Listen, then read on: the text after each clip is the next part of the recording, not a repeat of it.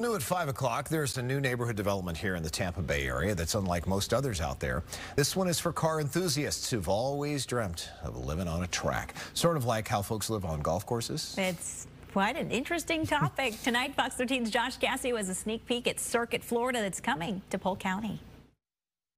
Sprouting up along I 4 in Auburndale, tucked between Amazon and other warehouses, is a new community built around luxury and speed. Everyone's familiar with a golf country club, so instead of a golf course, uh, replace that with a private motorsports track, and, uh, and that's what we have, it's a private racetrack. This is Circuit Florida. Besides the private racetrack, more on that in a second, its claim to fame will be the 75 on site high end condos that'll soon be up for sale.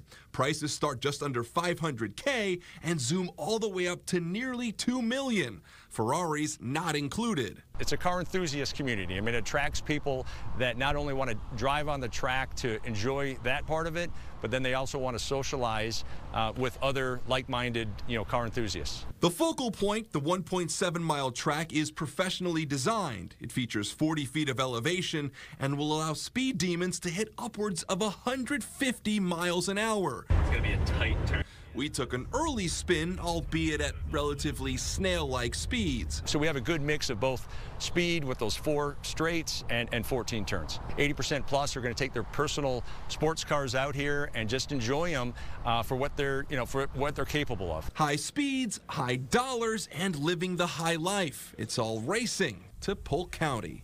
And the track should be paved by late October, grand opening set for mid-December. In Polk County, Josh Cascio, Fox 13 News.